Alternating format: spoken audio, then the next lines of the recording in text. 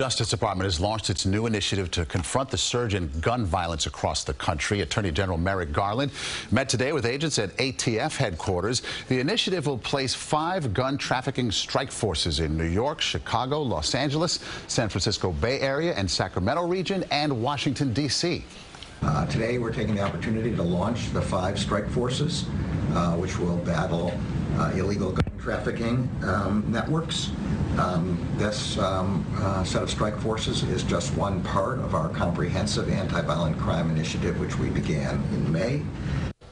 With no federal gun trafficking law, officials hope the new coordinated effort will make it easier for federal prosecutors in some of the supply cities to bring charges.